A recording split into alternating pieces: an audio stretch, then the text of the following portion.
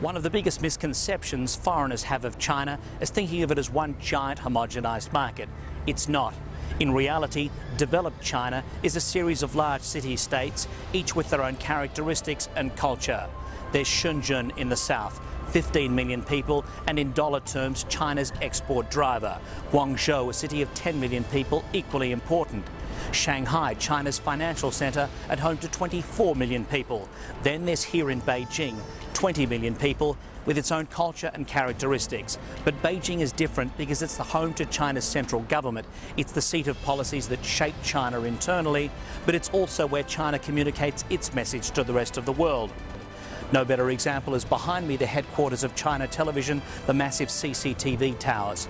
21 channels broadcasting around the clock seven of those international channels in English, in Arabic, in French and in Russian. It's a very important metaphor as to how China communicates with the rest of the world because the Chinese government is a government of pragmatism. It will have relations with any country as long as they're mutually beneficial. Now, for businesses wanting to come to China and invest or buy and sell goods and services, they need to be equally pragmatic. They need to strike deals that are mutually beneficial to both parties, but they also need to understand Chinese culture, how Chinese think, and how they operate. If you can strike that chord, then you can do business in China.